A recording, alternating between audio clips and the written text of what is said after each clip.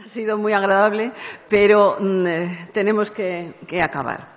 Y bueno, como, codirectora de, este curso, pues bueno, mm, tradicionalmente Ana Moreno y yo nos reservamos para el último día que es un inconveniente, pero también es una ventaja. Quiero decir que hemos ido siguiendo el curso de, eh, los acontecimientos, hemos escuchado a los colegas y ya tenemos como una, opinión, en cierto modo, mucho más formada de cosas que, pues aquí han quedado huecos, esto no se ha explicado suficiente.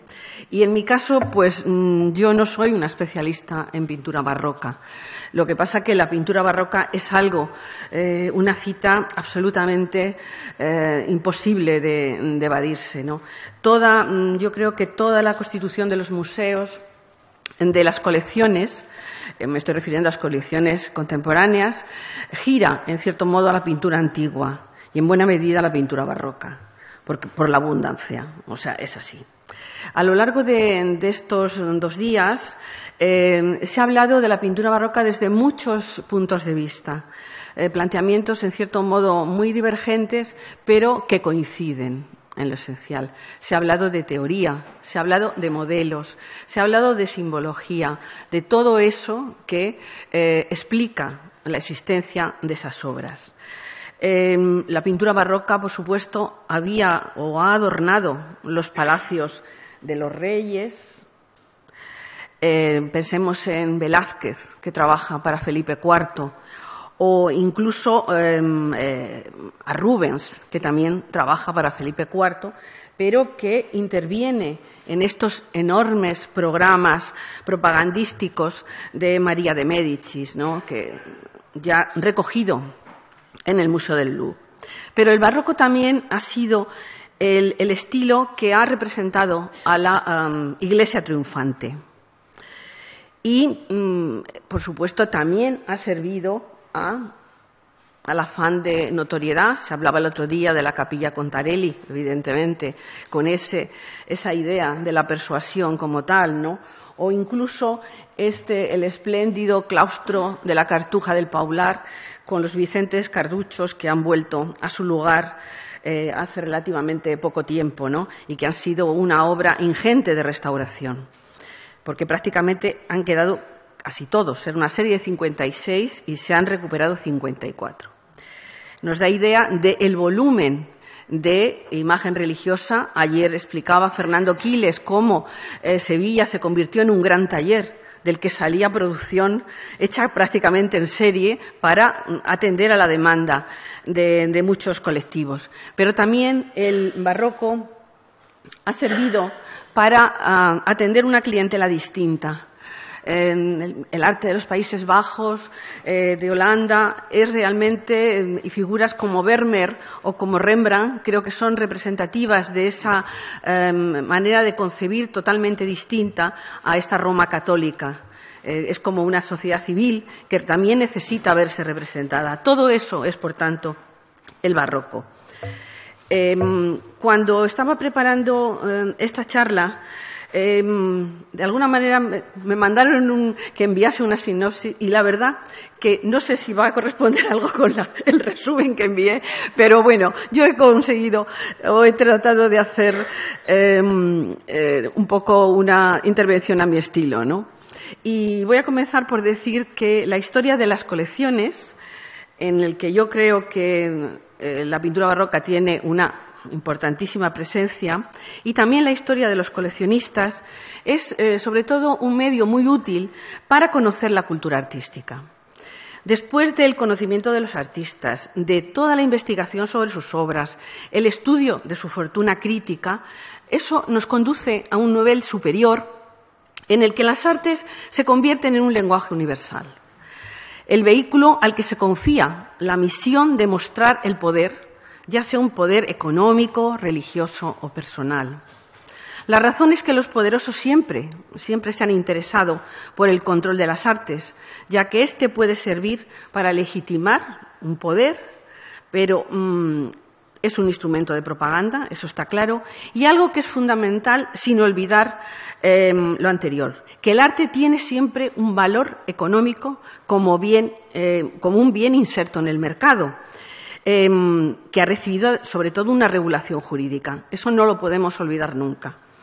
Pensemos en los aranceles aduaneros, el tema de las alcabalas, que también se mencionaba ayer, o en la normativa para evitar el tráfico de arte, que en España se remonta al siglo XVIII, cuando el rey Carlos III firmó el 22 de marzo de 1761 un decreto eh, un real decreto mediante el que se prohibía la exportación de pinturas y esculturas de artistas famosos ya difuntos una medida que se, decía ya existía en Roma y en Nápoles. Una Real Orden de 12 de octubre de 1779 del Conde de Florida Blanca renueva la normativa del 61 por un hecho que se consideraba relevante, como era la venta fraudulenta de cuadros de Murillo que se estaba produciendo en Sevilla. Una consecuencia de la aplicación de esta normativa fue la incautación en la aduana de Ágreda de esta María Magdalena de Murillo, que estaba tasada en 3.000 reales de Bellón y que estaba destinada a enviarse a Bayona. El rey, por supuesto, la cedió a la, sala de colorido de la Academia de, de San Fernando. A finales del siglo XVIII va a aparecer una nueva manera de mostrar las colecciones y eso es el museo, que es un invento moderno, en cierto modo. Desde mucho antes ya, sin embargo, existía la posibilidad de poner al alcance de los visitantes la galería de pintura antigua que, según don Antonio Ponz, en su viaje en España, era una práctica que ya se daba en países como Francia, Italia, Inglaterra o Alemania. Pons decía que nuestro monarca también ponía a disposición de los visitantes las estancias de su palacio con la espléndida eh, muestra o exposición de las pinturas de la colección real. El pensamiento ilustrado dio paso a la necesidad de instrucción del, pueblo y los monarcas y grandes coleccionistas abrieron sus palacios y estructuraron sus colecciones para facilitar su conocimiento, pero también para el disfrute de los visitantes. Eso que era mm, eh, una satisfacción propia algo con lo que se disfrutaba. Siempre se habla, por ejemplo, de, Felipe IV, que buscaba las obras eh, que le agradasen más y que, en cierto modo, era un espacio reservado, pues se va a convertir en algo que se puede mostrar a los demás. Eh, bien es cierto que la visita a las galerías no fue siempre accesible o universal. No va a ser hasta el siglo XIX que los museos se puedan abrir a todo tipo de públicos. Pero mm, si hay un tipo de pintura que va a gozar del favor de los coleccionistas, eh, de los museos, como ya decía antes, será la obra de los pintores barrocos que va a inundar el mercado. Será buscada en toda Europa y tendrá su culmen en Norteamérica a finales del siglo XIX. El museo eh, presuponía eh, la idea de poner a disposición de los estudiosos y del público en general las riquezas artísticas que un conocimiento, eh, que un conocimiento sistematizado y un ideal estético había considerado como tales obras de arte. Y lo que es más importante, que existía un poder que refrendaba esa empresa. En toda obra de arte depositada en un museo, lo que ha desaparecido es su justificación inicial el motivo que la hizo nacer. Incluso en, el entusiasmo del coleccionista que la había adquirido, porque esa obra se integra en un nuevo discurso y cobra un renovado valor en su nueva ubicación en las salas de, de un museo. En 1753 esto no viene mucho a cuento porque es un poco posterior, pero bueno, lo justifico. en el 53 se inauguró el British Museum de Londres, al que entre, y en el que entre 1801 y 1805 se transportaron por parte de Lord Elgin los mármoles del Partenón de Atenas. Lo cierto que hasta mediados del siglo XIX el museo no dejó de ser un recinto para estudiosos, y no se abrió al público totalmente, prácticamente, pues eso, hasta mediados del siglo XIX. Eh, pero uno de los primeros ejemplos de museo moderno es Villa Albani, en la Vía Salaria de Roma. La villa que el cardenal Alessandro Albani, sobrino del Papa Clemente XI, mandó construir a Carlo Macchioni para mostrar su colección entre 1745 y 63. Hay que tener en cuenta que em, para decorar uno de los salones de la villa Antón Rafael Mengs pintó en 1661 el Parnaso. Lo que ven aquí es una foto antigua del siglo XIX que nos da idea de cómo, qué es lo que rodea ese Parnaso, porque normalmente estamos acostumbrados a verlo como un cuadro en una pared. Evidentemente es algo plano, pero está en un techo integrado y rodeado de toda esa ornamentación y toda esa yesería. El Parnaso era el monte sagrado donde habitaban Apolo y las musas, y en él además estaba la fuente Castalia, donde encontraban inspiración los poetas y también el oráculo de Delfos. Em, el bibliotecario del cardenal Albani era Joaquín Winkelmann, que catalogó las piezas de estatuaria sacadas de las excavaciones de la villa Adriana de Tívoli. Eh, las piezas eran realmente espectaculares, pero el proyecto, con sus jardines, pues se convirtió casi en un recorrido emocional para los amantes de la antigüedad. Era un ideal de belleza clásico que eh, además se trasladó al grabado con la colección de Giuseppe Bassi en una colección que apareció en 1761. Y en Villa Albani lo que ya tenemos es una serie de elementos a tener en cuenta.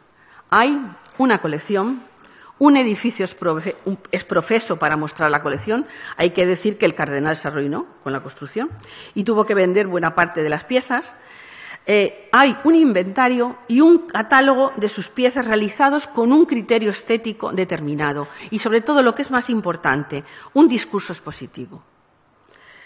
Desde 1750 eh, se habilitaron en el Palacio Luxemburgo de París unas salas para mostrar una parte de la colección real francesa. Era poco más de 100 obras que estaban en Versalles, una exposición que además se podía visitar dos veces eh, por semana. Sin embargo, los alumnos de la Col Royal pues, tenían unos horarios eh, más amplios para poder visitar y conocer esa colección. Eh, uno de los conservadores de la colección, Jacques Bailly, redactó el catálogo de la misma, el catálogo de Tableau, eh, como ven, esa es la portada, em, que es una minuciosa descripción de los cuadros con sus medidas, la, ubicación en el que están. Eh, y también hay que decir que el Palacio Luxemburgo, que había sido la residencia de María de Médicis hasta su exilio, tenía también un ala eh, dedicado a mm, exponer la serie de Rubens pintadas para María de Médicis. Entre 1769 y 1779, Federico de Hesse-Kassel construyó en Kassel un edificio destinado a museo público y biblioteca. El llamado Museo Fridericianum fue edificado por un arquitecto francés, hugonote, que se llamaba Simon Louis de Guy y estaba destinado a ser un museo público que expusiera las colecciones de los landgraves de Hesse. Em, lo que vemos es, un grabado del siglo XVIII, porque, como saben, em, Kassel fue prácticamente destruido en la Segunda Guerra Mundial la biblioteca prácticamente no es así. Bueno, luego tenemos una consecuencia que es la documenta de Kassel, que de alguna manera ha generado otro tipo de, exposición. Eh, pero eh, esto es algo que va a tener continuidad y, evidentemente, en otros eh, principados alemanes y en otros lugares se van a ir abriendo colecciones. Entre 1779 y el 83 se instalaron en Múnich, en el ala norte del Volgarten, las colecciones de pintura del elector de Baviera, que contaba con una bien nutrida colección de pintura alemana, pero también muy notable em, la colección de pintura flamenca de Van Dyck o de Rubens. Se podía visitar también en horarios distintos según fuera eh, invierno-verano porque está integrado en un jardín. Lo mismo hizo además el elector palatino de Düsseldorf, que contó con la obra de un arquitecto francés, Nicolas de Pigage, quien elaboró un catálogo razonado de la galería con 365 estampas de los cuadros, con detallados informes sobre sus dimensiones, descripción y ubicación en las salas. Em, lo curioso de, em, este arquitecto de Pigage es que em, elaboró este catálogo, pero ese catálogo es una descripción minuciosa de las salas, Con aparecen los cuadros, cómo están situados y las cartelas de cada uno de ellos. Y sobre todo, lo que eh, llama la atención es la espléndida colección eh, con una sala dedicada exclusivamente a Rubens. Como aquí vemos, son esos cuadros de caza eh, de Jan Fitt y de otros pintores flamencos que gozaban pues, del aprecio de todos estos, de toda esta nobleza. En 1792 abrió sus puertas el Belvedere de Viena para mostrar sobre todo la colección imperial austriaca. Realmente lo ingente de la colección hizo que se convirtiera rápidamente en casi una relación de todas las etapas de la historia del arte. En 1789, sin embargo, van a cambiar, eh, va a cambiar algo. Van a llegar los aires revolucionarios que desde París pues, se van a extender y van a, van a suponer una conmoción no solo en lo político, sino también en lo social y cultural. El nuevo Estado, salido de la Revolución, eh, diseñó una política cultural basada en la educación, el ideal ilustrado, y además en la democratización de la cultura. Las obras de arte, al tener un carácter suntuario, resultaban mm, comparativamente mucho más difíciles de democratizar. Eh, consecuencia de ello fue la creación de museos públicos que acercaran al pueblo lo que hasta entonces les estaba vedado. Pensemos que era el patrimonio artístico de la Iglesia y el de la nobleza, cuyos bienes habían sido nacionalizados por la Revolución. La Asamblea Constituyente de la República materializó su ideario democratizador con la apertura del Museo Central de Sartre en el Palacio del Louvre el 10 de abril de 1793 a instancias del pintor David. A este museo unificado fueron a parar obras de arte de elevado valor económico que antes eh, habían permanecido ocultas, eh, también las enajenadas a las órdenes religiosas, como ya mencioné antes, que habían sido suprimidas, la colección del rey y la colección, eh, las obras artísticas de la academia, que también había sido suprimida además del tesoro de Saint-Denis. Se convirtieron en bienes nacionales que simbolizaban la identidad histórica y nacional de una sociedad basada en la igualdad de todos los ciudadanos. El objetivo final del Louvre era formar una colección de objetos de arte, la colección más rica y más completa que no existía en ningún otro lugar. Ya antes de la Revolución esa era una idea eh, que también había em, extendido el conde de Argivilliers, que además em, pidió a todos los embajadores en otros países que em, recogieran todo el arte que pudieran eh, conseguir para incorporarlo a la colección real. Pero este museo en el Louvre es complementario a lo que se exponía en el Palacio de Luxemburgo. El conde, hay que suponer que se exilió en 1790 y cuando triunfó la revolución, pero bien, el, el camino estaba abierto. Desde 1794 llegaron al museo las piezas procedentes de las campañas de Napoleón en Bélgica, en Holanda y en Alemania. Bueno, hace falta de alguna manera eh, justificar qué quiere decir estos cuadros. Eso era un proyecto y el pintor Hubert Robert eh, como vemos, empezó a diseñar o a inventar em, con obras que parten del Louvre en ruinas y la reconstrucción de un museo. De, alguna manera, un tanto eh, fantástica, ¿no?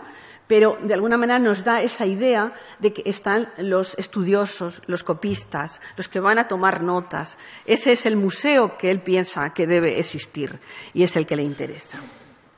Pero como decía, yendo un poco más adelante, desde el año 1794 van a empezar a llegar a París las obras sacadas de Bélgica, de Holanda, de Alemania y desde 1797 las colecciones del Vaticano y del Palacio Belvedere eh, de Roma. A partir de 1809 comenzaron a llegar piezas salidas de España. El botín de las campañas se puede decir que no cesó de llegar al museo, que desde 1803 eh, se denominó Museo Napoleón, gracias a los eh, desvelos eh, del, asesor del emperador, Dominique Vivant de El luego nombrado fue nombrado Barón de Nom, tenía el propósito de hacer un museo de la cultura occidental que además tendría que contener piezas desde la antigüedad. Pero, mm, ¿qué mm, es significativo de ese momento? Bueno, la idea de que la revolución había introducido una nueva forma de gestionar el patrimonio.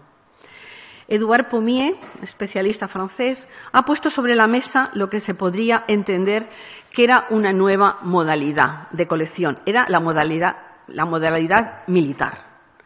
La legitimidad de la propiedad impuesta por los vencedores a los vencidos. En el discurso revolucionario, esa legitimidad se justificaba con la idea de que el destino de las obras artísticas capitales debía ser el país de la libertad, porque las obras de arte son, por definición, el producto de la libertad individual del artista y no podía sino dirigirse a hombres libres. Esto está expresado en muchísimas publicaciones y libros. Ya citaré algunas cosas. En 1793 se publicó en el Le Moniteur un escrito firmado por 37 artistas en donde se legitimaba el despojo generalizado, sobre todo después de la llegada a París de las obras sacadas de Italia y especialmente de Roma. El escrito insistía en la idea de que si los romanos, que no eran cultivados, se educaron llevando a Roma los tesoros de la Grecia conquistada, los franceses y sus artistas, naturalmente dotados y poseedores de una sensibilidad exquisita, Sería el único país que por su poderío y cultura podía dar cobijo a esas obras maestras. Y la frase es prácticamente lapidaria. La República Francesa, por su fuerza, la superioridad de sus luces y de sus artistas, es el único país del mundo que puede dar asilo inviolable a estas obras maestras. Pero esa no era la opinión tampoco absolutamente general. Em, en 1796 también Chrysostome Quatremer de Quincy, un artista, historiador del arte, amante de la cultura clásica, que además había sido diputado de la Asamblea Legislativa y que estaba escondido en estos momentos, no sabemos si en París o en Roma, publica un libelo contra la salida de obras de arte de Italia por parte del joven general Bonaparte. Em, todas eh, esas opiniones están recogidas en lo que se ha denominado cartas a Miranda, eh, en un género epistolar. Eh, Miranda era un Francisco de Miranda era un general caraqueño que tuvo una importancia decisiva, diríamos, en la emancipación de las repúblicas americanas. Las cartas recogían el prejuicio que ocasionaba a las artes y a las ciencias el traslado de los monumentos de las artes de Italia. Mm. Em, vamos a ver. Mm, de Quincy insistía que no era necesario el traslado de tanta riqueza porque todas eran parte de una especial república de las artes y suponían riqueza porque pertenecían a todo el universo. Para él, todo lo que el que deseara apropiarse de esos bienes comunes cometería un crimen contra la instrucción y la razón y en contra del mejoramiento de la especie humana. En su opinión, las cosas sacadas de su contexto estaban despojadas de la armonía que las, hacía valiosas. Cincuenta artistas, arquitectos y escultores suscribieron ese escrito.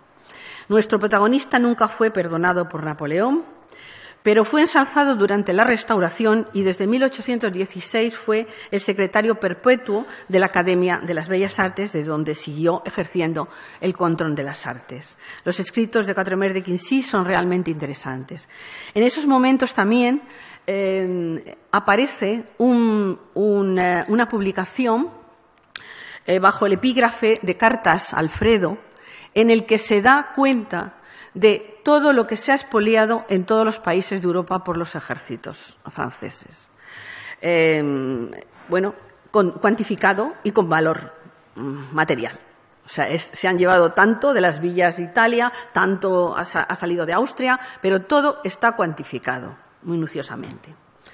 Las campañas en Flandes, en 1794, proporcionaron al Museo Central de Chartres una nueva colección de cuadros para colgar en sus salas. La convención había alardeado de que en el mes de agosto eh, cuadros de Gaspar de Crayer, de Van Dyck y de Rubens estaban camino de París y, sobre, y que todas las escuelas flamencas servirían para adornar los museos.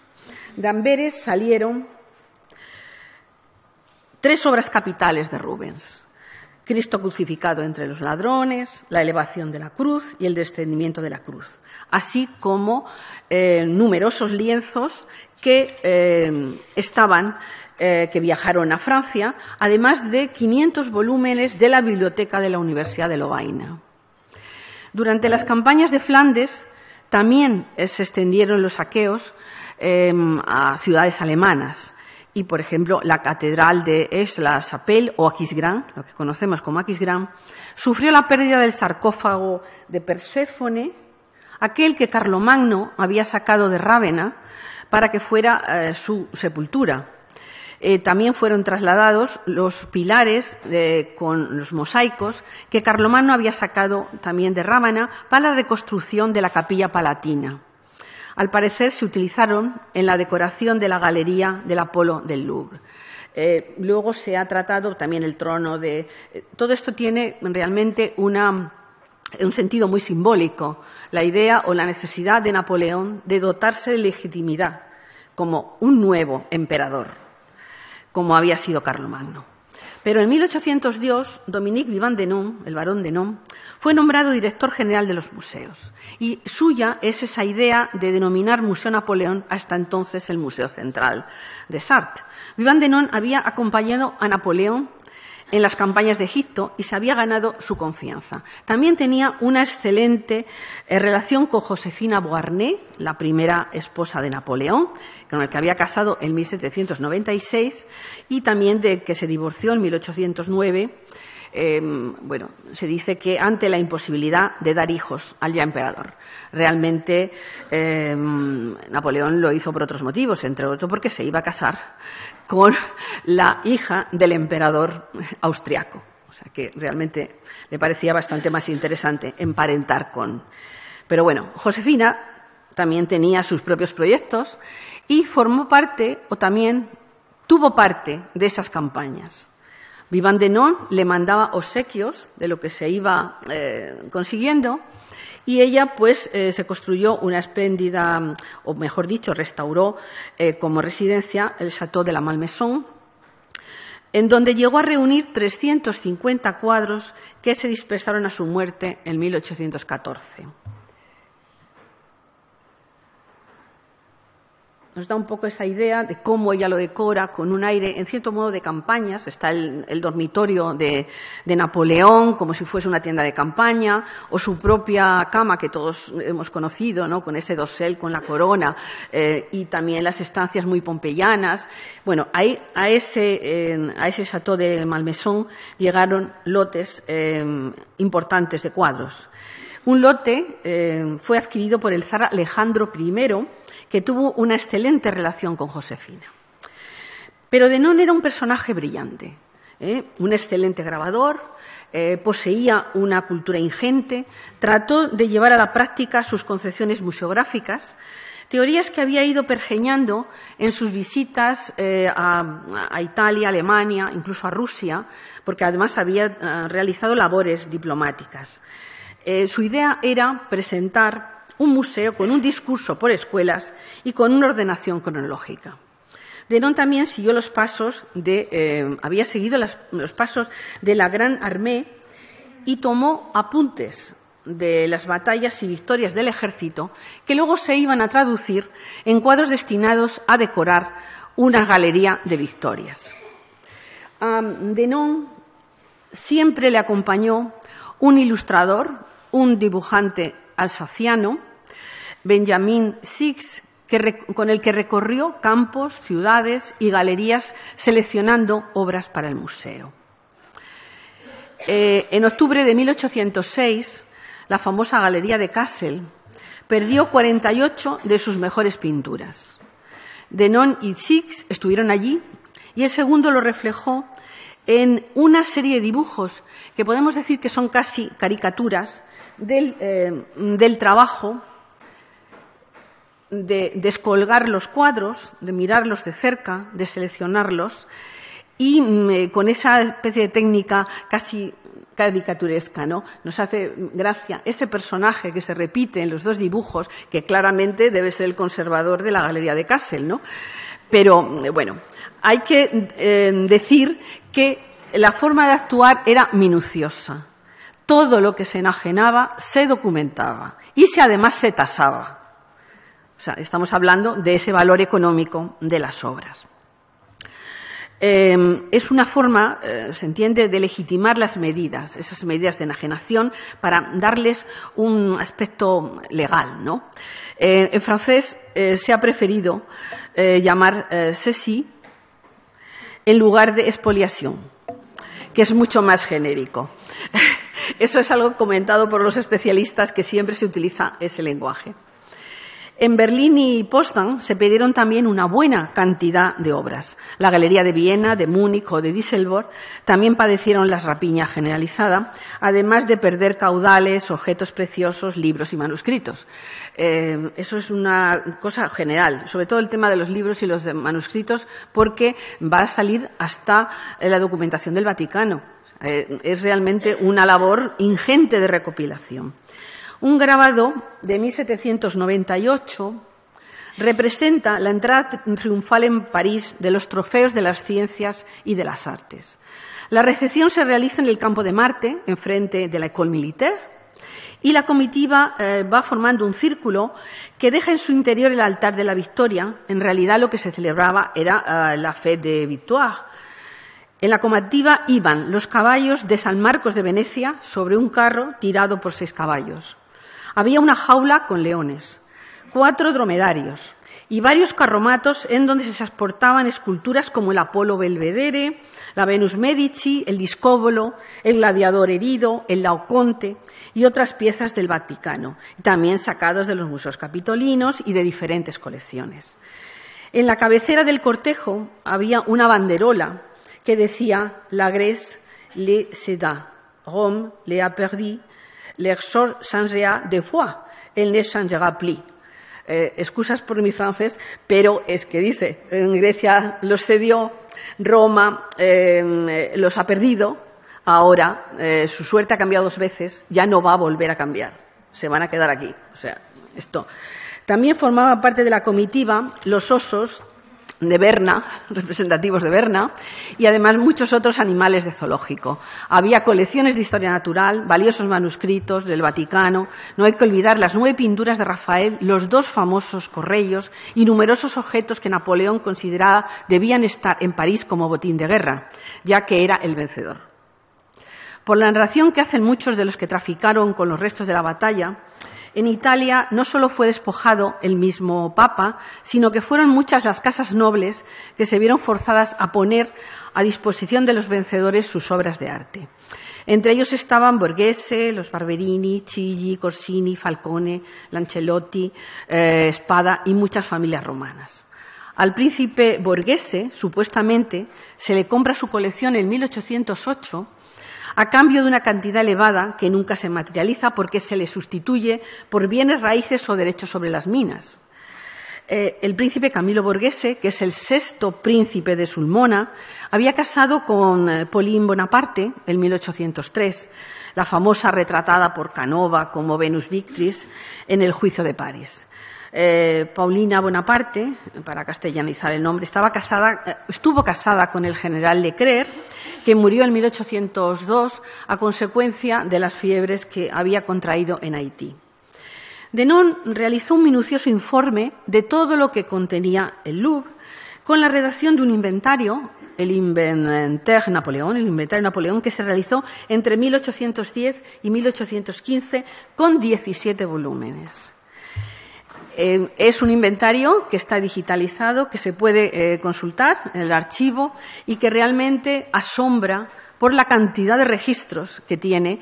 Está todo dividido por, em, em, escuelas. Es muy sistemático, escuela italiana, escuela española, escuela alemana. Em, consiguió, pero de no sobre todo lo que consiguió es que la institución se convirtiera en contrapunto de la gloria del emperador porque puso a su disposición los trofeos conquistados en las campañas.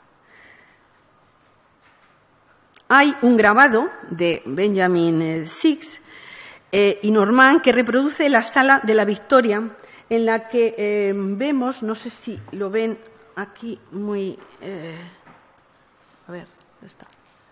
Aquí, este busto de Napoleón gigantesco que está coronado por una, por una, mm, por una esta de laurel, una corona de laurel. Y sobre él hay un cuadro de Rubens eh, de lo recogido en Kassel, que se llama Marte coronado por la victoria. Con ello encarnaba eh, la figura del emperador como Marte, Marte victorioso, eh, una imagen que también recogió Canova, que le representó como Marte pacificador, desnudo, en escultura, hoy está en el Museo Wellington de Londres, o en Apsley House, mejor dicho. El museo se convirtió, por tanto, también en un lugar de reunión social. Aquí vemos una especie de velada nocturna a la luz de, estas antorchas y también vemos a Vivandenón en esa ingente eh, labor de catalogación y de inventario. Pero el 2 de abril de 1800, eh, perdón, el 2 de abril de 1810 Napoleón se casa con eh, María Luisa de Habsburgo, Lorena, hija del emperador del Sacro Imperio Romano, y se casa en la capilla del Louvre y atraviesa todo el Salón Carré, eh, bueno, donde han puesto la capilla, digamos, y atraviesa todo el museo.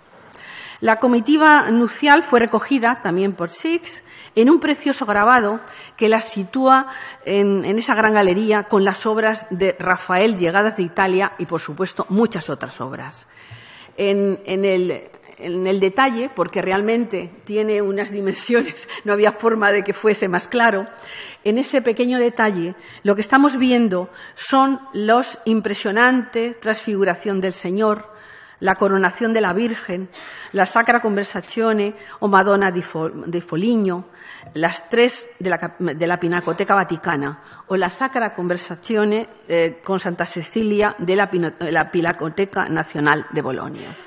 Todo esto conseguido en Italia, que está prácticamente se distingue perfectamente. Se pueden identificar más cuadros, pero, pero es complicado, sobre todo en el recorrido mm, completo, porque tiene tal cantidad de detalle que es muy complicado seguirlo, pero se podría reconstruir todo lo que había ido a parar allí. Y mm, mm, España, digamos que fue el último país que entró en el conflicto porque, en primer lugar, en esos momentos en que hay las campañas en, los Países Bajos o en Alemania en Austria, eh, somos aliados. O sea, eso es una realidad.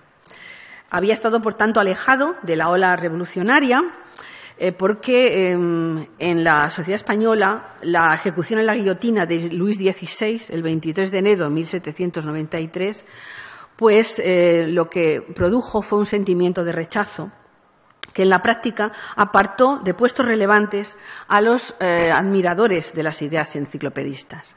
No obstante, el reinado de Carlos IV eh, y eh, con, el poder en manos de Manuel Godoy hasta la salida de España de los viejos reyes supondrá el momento en que las ideas de la Ilustración van a tener aplicación.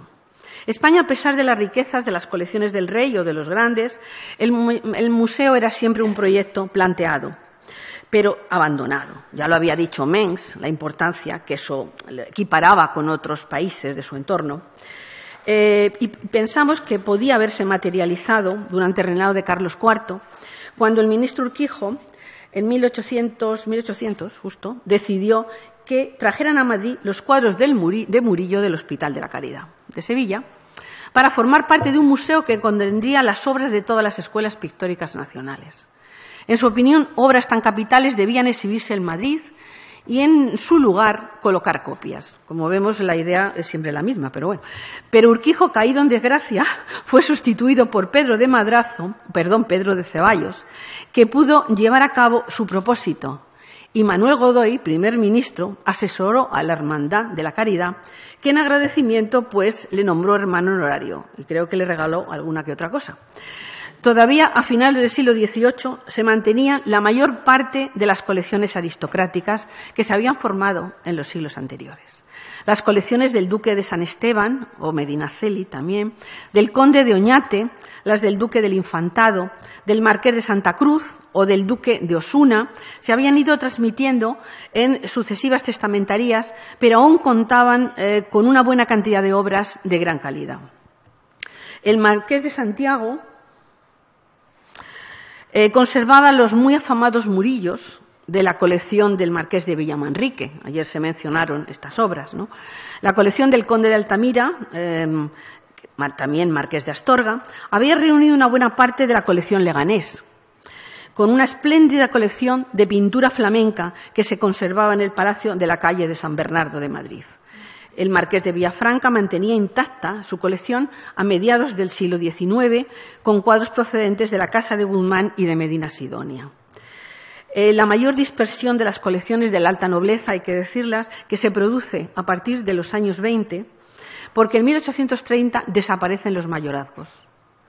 Y entonces las testamentarías dividen todas estas colecciones y no conservan lo, digamos, lo que las hace más representativas, ¿no?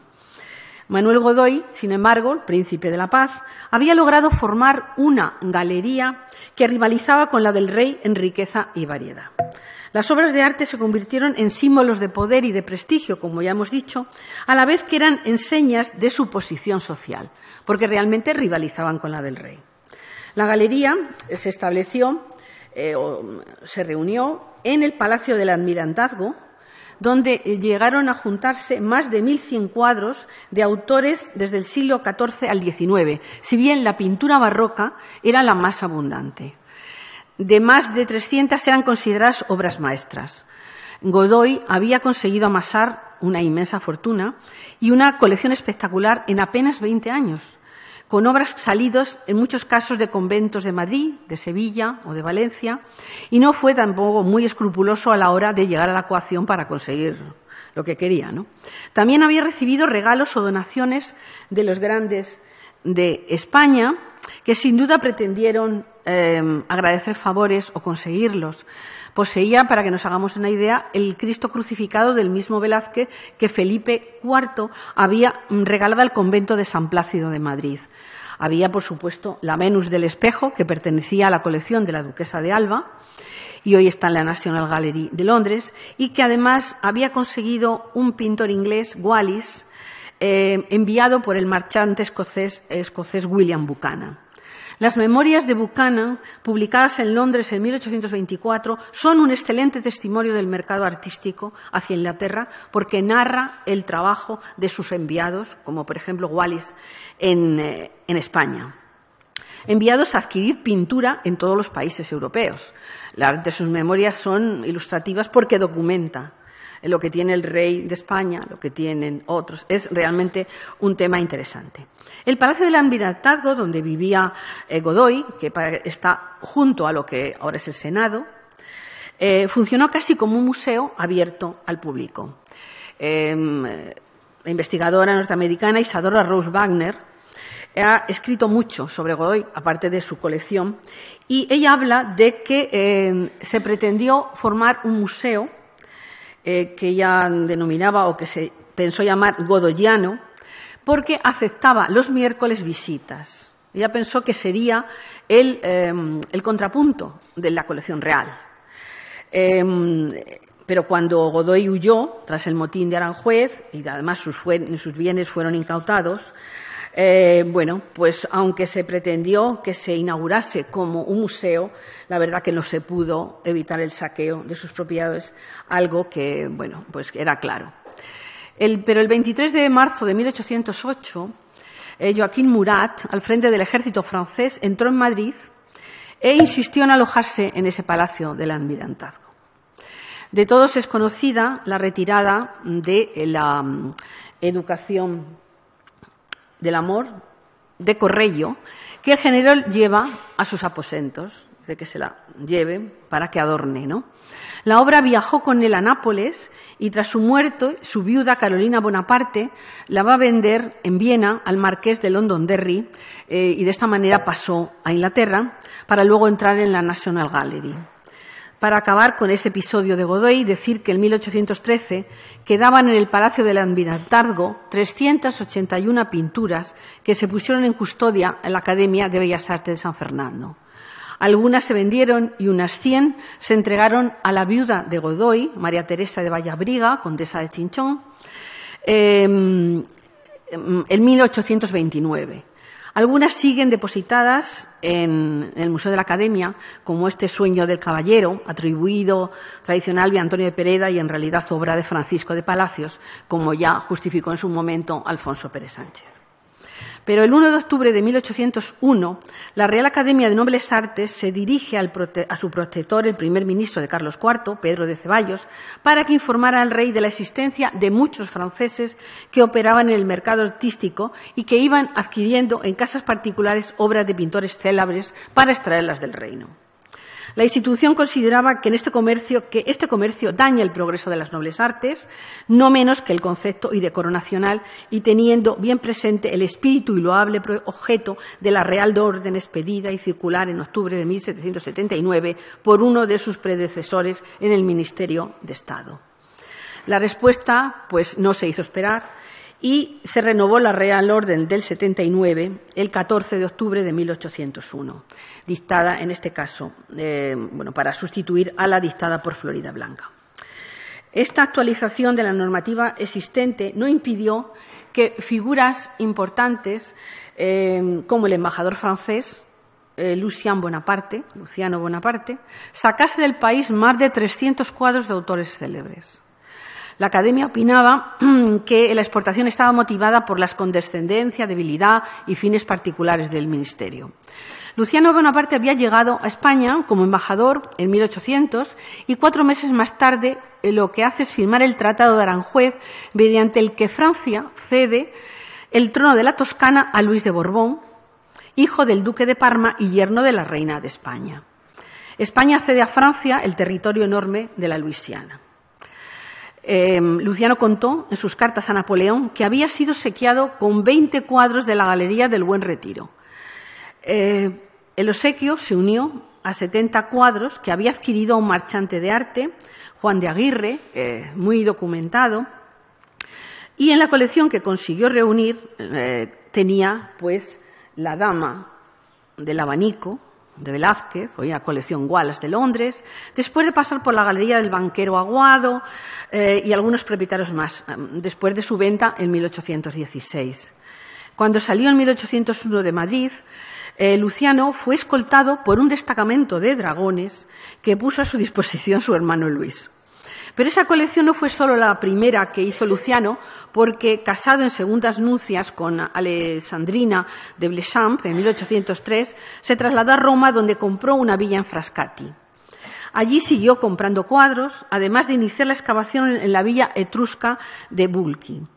Em, Luciano murió en 1840 y se subastaron sus cuadros y piezas arqueológicas. A la colección Thyssen llegó en 1800, eh, perdón, en 1966, yo estaba ya, un cuadro de Claudio de Lorena, Paisaje idílico con la huida a Egipto, de 1663, que también perteneció a la colección británica de Sir David Williams. Como vemos, esas colecciones formadas en ese momento, un poco de tránsito, eh, se van a ir extendiendo y es las que nos van a permitir eh, en muchos momentos reconstruir o poderlas reconstruir hasta el momento. Pero en 1807 la situación se mostró más complicada. También hay que decir otra cosa. Las cartas que Luciano escribe al, el emperador son muy ilustrativas. Dice, he conseguido eh, por medio de la paz más que hubiera conseguido por la guerra. O sea, realmente tenía la idea, porque había sido ministro de las Artes, de ir recogiendo todo lo que se encontraba por el camino, ¿no? La idea de los embajadores encargados de recolectar. Pero en 1807 eh, la situación se mostró más complicada después de la firma del Tratado de Fontainebleau. Francia y España se repartirían Portugal y con ese fin el general Junot, al frente de un poderoso ejército, atravesó el país para entrar el 12 de noviembre de 1807 en Portugal desde Salamanca. El trasiego de marchantes ingleses y franceses lo que hizo fue incrementarse y propició operaciones de dudosa legalidad que hicieron solicitar a la Academia la renovación de esas medidas, como ya he dicho, en un intento de poner freno a la situación. Con este motivo se abre. ¿Qué ha pasado?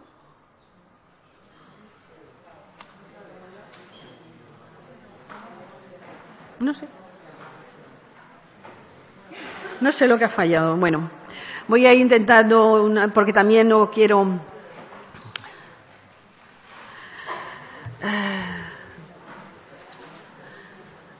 Bueno, estábamos en que llegaba Jean-Baptiste Lebrun, eh, que viajó a España con la intención de adquirir eh, pinturas para ser vendidas a buen precio en París. La academia no le había prestado demasiada atención si no fuera em, porque eh, que habían llegado confidencias que le ponían en relación con estos marchantes, tratantes de cuadro y sobre, de cuadros y sobre todo con prenderos de convento, lo cual era importante. En concreto, él, hablaba de prenderías, eh, se hablaba de prenderías en, en la calle del Pez, frente a San Ginés y a la Trinidad Calzada. El expediente de Lebrun fue seguido por José Munarriz, que averiguó que el francés había comprado del convento de Carmen Descalzo de la calle de Alcalá, también conocido como San Hermenegildo, una concepción de Murillo y un San Pedro Alcántara considerados de Claudio Cuello. Por uno pagó por la 10.000 reales por la concepción de Murillo y 1.500 por el segundo. Eh, el prior de la comunidad se excusó y dijo que, habían conseguido un muy bajo precio, pero que la comunidad tenía necesidad de, efectivos. Bien. El pintor Jean-Baptiste Lebrun era un marchante de reconocido prestigio. De hecho, antes de la Revolución había recibido encargos de la familia real y detentaba desde 1778 un negocio próspero en el Hotel de Liber en la calle Cléry de París. Además de marchante, era restaurador y tras el cambio de régimen comenzó a trabajar para el ya mencionado Museo Central de las Artes, que había fundado la Asamblea Constituyente. Lebrun viajó a España entre los meses de agosto y octubre de 1807 con todos los gastos pagados para adquirir toda la pintura española que pudiera obtener.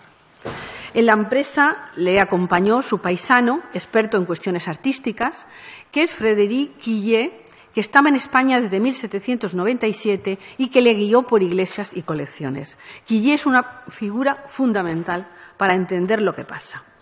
Es frecuente pensar que el viaje de Lebrun, en buena medida considerado como un saqueador, que aprovechaba la difícil situación, eh, se hizo demasiado, eh, quizá él lo decía, se hizo demasiado pronto, puesto que unos meses después de la caótica situación bélica eh, le hubiera facilitado el acceso a muchas colecciones. En 1809, Lebrun publicó con el apoyo financiero de dos banqueros eh, un recuil de Gravir o eh, tratado al agua fuerte y sombreado después de elegir una serie mm, de, cuadros de todas las escuelas, una obra en dos volúmenes. Eh, tenían la portada y además se puede descargar y se puede ver perfectamente pero no solamente había comprado pintura española, sino que eh, compró sobre todo pintura francesa e italiana. En españoles realmente compró 15 cuadros españoles.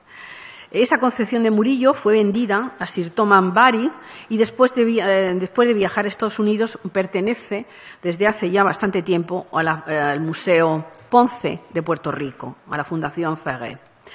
El San Pedro Alcántara, en realidad, era el milagro de San Pedro Alcántara y fue adquirido por la emperatriz Josefina em, por un alto precio, a pesar de que Claudio Cuello en esos momentos era un, pintor prácticamente desconocido para el público francés.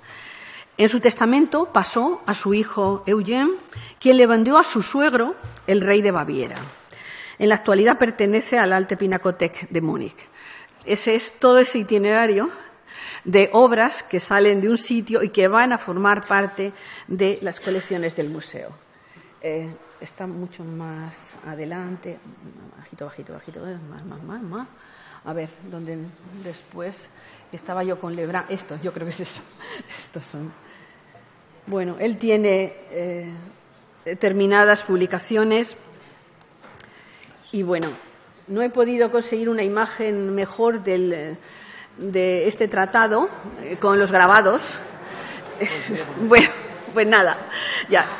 Para quien eh, luego lo vea en, el PowerPoint, eh, está perfectamente, se ve muy mal, pero es que se puede descargar el volumen entero con todas las imágenes. pero bueno, el 6 de junio de 1808, un decreto imperial nombraba a José Bonaparte rey de España y de las Indias con el compromiso de preservar la independencia del país. El estado de guerra se había generalizado y desde Castilla, por donde discurrían las vías de comunicación con Francia, llegó hasta Andalucía. En la mente de Napoleón estaba la conquista de todo el territorio español y, sobre todo, entrar en Andalucía. Esa tierra rica, llena de leyenda para los europeos, pero sobre todo para llegar a Cádiz, porque era la forma de frenar en el mar a los ingleses. O sea, pero la nobleza, eh, que en un primer momento apoyó la causa de José, tras la derrota de Bailén, el 22 de julio, decidió exiliarse o ponerse en contra de Napoleón, contribuyendo a la guerra o formando parte de las juntas de defensa. En el mes de noviembre, Napoleón llegó a España para defender el trono que había conseguido para su hermano y dictó ocho importantes decretos en donde se marcaban las líneas maestras eh, de lo que había de ser el gobierno de su hermano. Una de las medidas fue decretar la enajenación de los bienes de los grandes de España que no, habían permanecido fieles a José y condenarlos a muerte.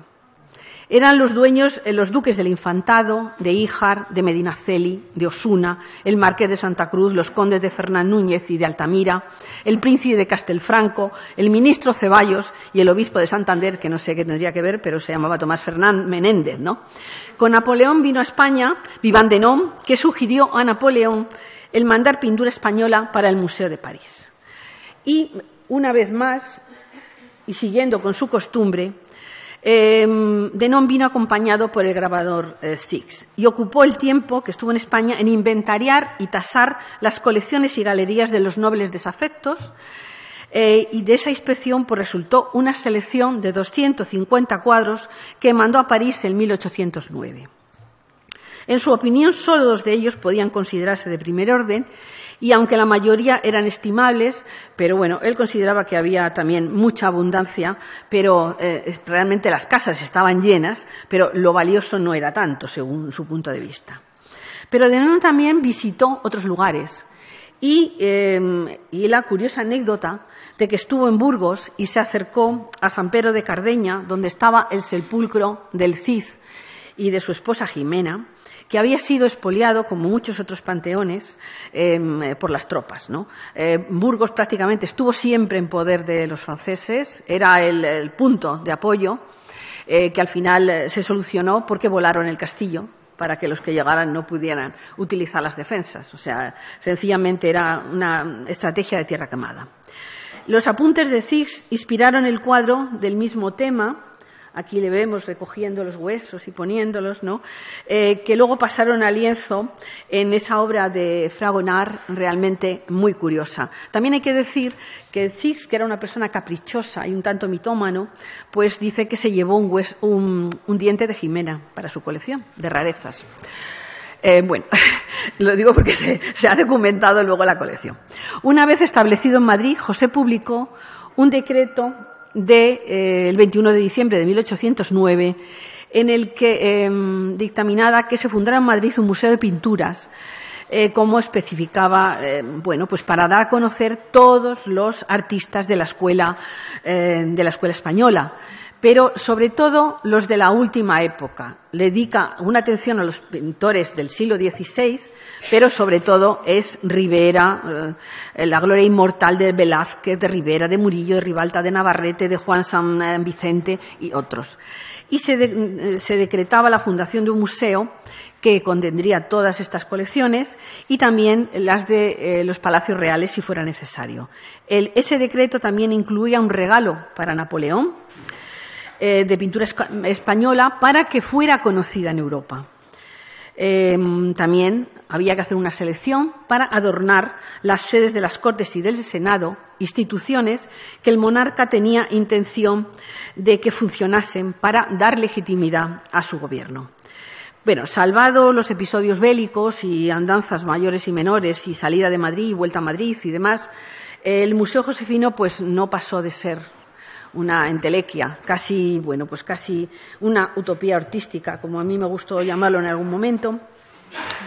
Eh, y mm, infinidad de cuadros salidos de los claustros de los conventos que habían sido enajenados, pues se amontonaron y se apilaron en depósitos, sin que luego nunca volvieran a aparecer.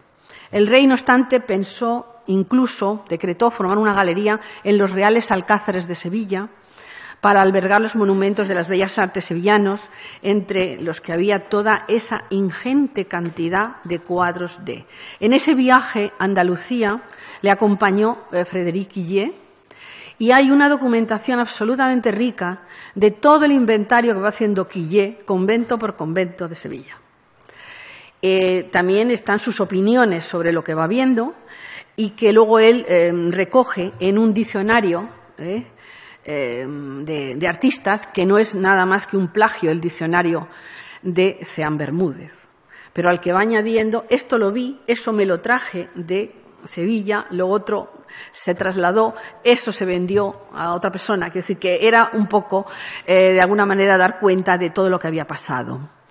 Eh, pero este flamante Frédéric Irié, director de ese Museo Josefino, pues eh, salió, o digamos que, eh, que tuvo que abandonar su cargo cuando recayeron sobre él las sospechas de traficar con todo lo que tenía de cambiar los números de registro de obras pertenecientes a la colección real, borrarlos o, en fin, de alguna manera debía hacer lo que le parecía mejor.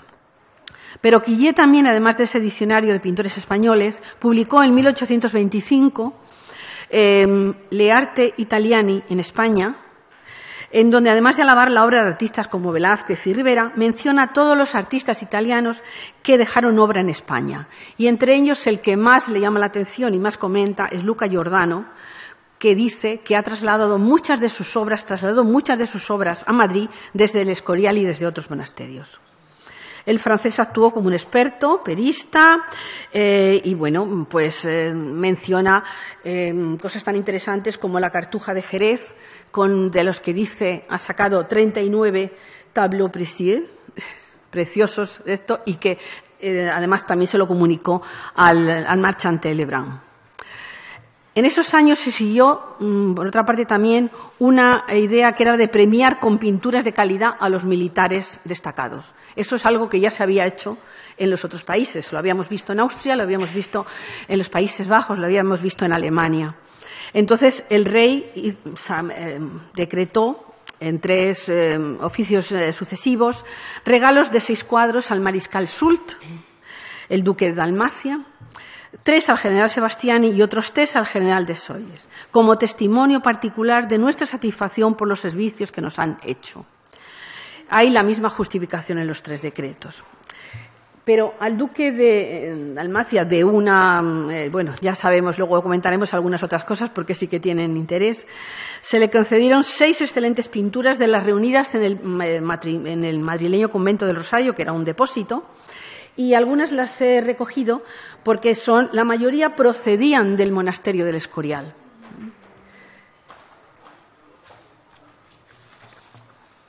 Al general Samestiani se le dieron también eh, del depósito del Rosario eh, obras como La mujer adúltera de Van Dyck, que tengo una cierta duda, no sé si es una obra que ha vuelto después de mucho tiempo, se ha restaurado hace poco por el Instituto de Patrimonio Cultural, pero hay varias versiones, entonces había una que correspondía a la orden tercera. No sé exactamente si la que he recogido es realmente esta. Yo creo que esta está en el monasterio del Escorial. Entonces, eh, quizá habría más de una versión de ese mismo tema porque fue un, tema muy, eh, muy apreciado. También había otras obras de Tiziano em, que luego han pasado a, colecciones como la Pinacoteca de Múnich. Al general de Soyer recibió del convento del Rosario un retrato de Felipe IV que estaba en el Escorial y también este precioso Guido Reni que ha pasado, pues como ven, al Museo del Hermitage en en San Petersburgo. Los tres procedían del Escorial. Eh, vemos que en todas estas recompensas predomina la pintura italiana y flamenca y que tiene una mayor valoración en estos momentos con la excepción de, de Rivera, considerado en buena medida y desde la crítica francesa como un pintor italiano. Luego hablará Amaya Alzaga de Rivera porque creo que hay mucho tema por delante. Y muchas pinturas fueron muy buscadas, sus pinturas fueron muy buscadas en el siglo XVIII y XIX. Los cuadros salieron de España una vez que sus propietarios consiguieron la guía necesaria para la exportación, eh, porque hubo también un nuevo decreto que prohibía la exportación de pinturas bajo la pena de confiscación y de una multa igual al valor de los objetos confiscados. Bueno, todo el mundo estaba de acuerdo que era una media tardía porque ya todo el mundo había salido lo que había sacado lo que había podido, ¿no? Eh, pero a pesar de esas leyes, pues bueno, el tráfico de obras debió ser escandaloso. Prueba de ello son las notables colecciones que consiguieron reunir esos generales y mariscales, además de los que se le había regalado. El mariscal Sul, el duque de Dalmacia o Dalmatí, alcanzó gran notoriedad en Sevilla por su falta de escrúpulos para conseguir cuadros de calidad y a su muerte dejó una colección extraordinaria que salió a la venta en París en 1852. Eh, y para que nos hagamos una idea, contaba con 20 cuadros de Zurbarán y 15 de Murillo, considerado en el momento de la venta el príncipe de los pintores españoles, además de muchas otras pinturas españolas, a un total de 109 cuadros. Realmente los turbananes mm, eran eh, inigualables. San Buenaventura en el concilio de Lyon, eh, que está en el Louvre, al igual que exposición del cuerpo de San, Buenaventura, también en el mismo, todos ellos procedentes del Colegio de San Buenaventura de Sevilla, la Santa Águeda del convento de eh, yo he preferido elegir las santas porque me parecían más gratas, ¿no? Los otros son cuadros de, convento, ¿no? Y un tanto, aunque algunos espectaculares, ¿no? Y estas tres eh, santas, eh, cada una, una, ha ido a parar al Museo de Chartres, otra al Museo del Louvre, y esta está en la colección Thyssen, ¿no? Yo creo que es la, más preciosa de las tres. Em, y todas ellas pues pertenecían, eh, pues salían de conventos. Eh, en concreto la Santa Casilda era del convento de la Piedad de Sevilla. Eh, más, más, prolijo sería mm, tratar de explicar los murillos conseguidos por el mariscal, pero es imposible no mencionar pues el nacimiento de la Virgen, procedente de la catedral, hoy en el Louvre, el San Pedro Penitente del Hospital de los Venerables. Tampoco mm, hay que olvidar los sacados del Hospital de la Caridad, la curación del paralítico, el regreso del hijo pródigo, la liberación de San Pedro. Em, todos ellos han acabado en colecciones em, extranjeras, o en la National Gallery, o incluso en el Museo del Ermitas, porque el zar compró de todo. O sea que otras procedían del claustro chico de San Francisco, como el San Julián de Alcalá y el alma de Felipe II, que está en Washington, San Diego y la cocina de Los Ángeles, del Louvre. Bueno, em, como ya decía, por más que se intentó eh, solucionar esto con medidas que eh, limitaran la exportación, pero fue prácticamente imposible. Em, al final del reinado y cuando digamos que la causa está perdida, se envían los 50 cuadros a Napoleón. El rey José pensó que eso inclinaría la balanza eh, a su favor para que su hermano le eh, resolviera o le solucionase el problema. Pero oh, mientras, cuando ya Bonaparte está prácticamente decaída, en 1814 eh, va a abdicar, en, 1814, en el Museo del Louvre, Vivant Denon va a inaugurar una exposición fabulosa. Va a elegir lo más selecto y, curiosamente, de lo que ha llegado de España es muy poco. Mm, eh, bueno, estas son dos de las obras que se envían a, a Napoleón como regalo de las 50 obras de Napoleón. Como vemos, uno es de la Cartuja de Jerez y el otro era del Escorial, el Velázquez, que además está en la exposición que ahora hay en el Palacio Real.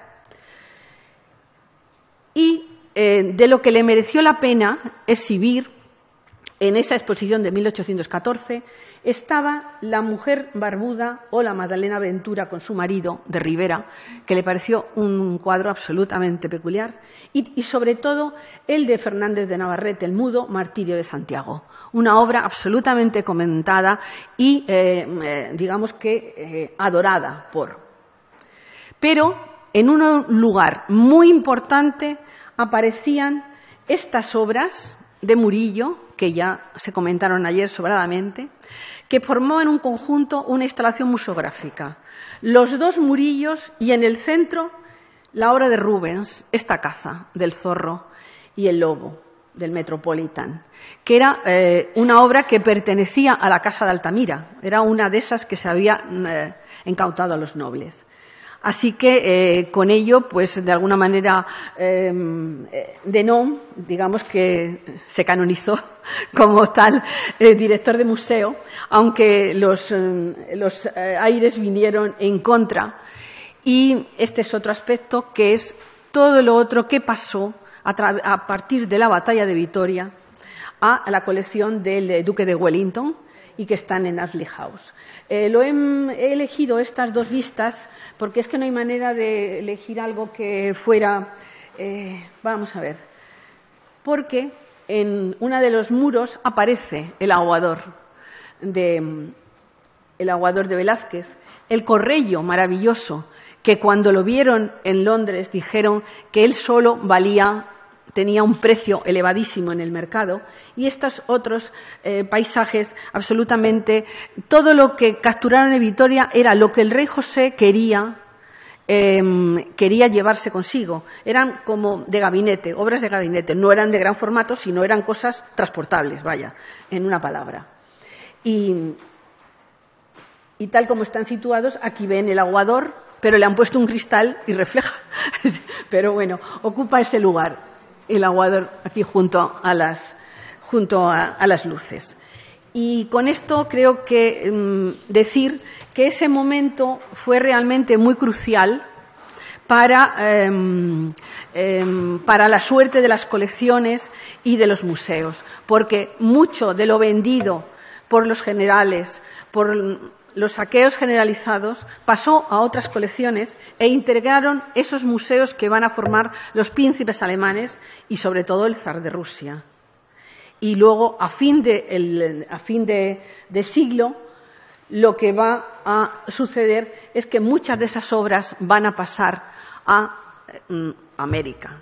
Ese va a ser el final porque los grandes capitalistas están allí. El, arte, como siempre, es un valor de mercado y tiene un precio. Así que muchas gracias.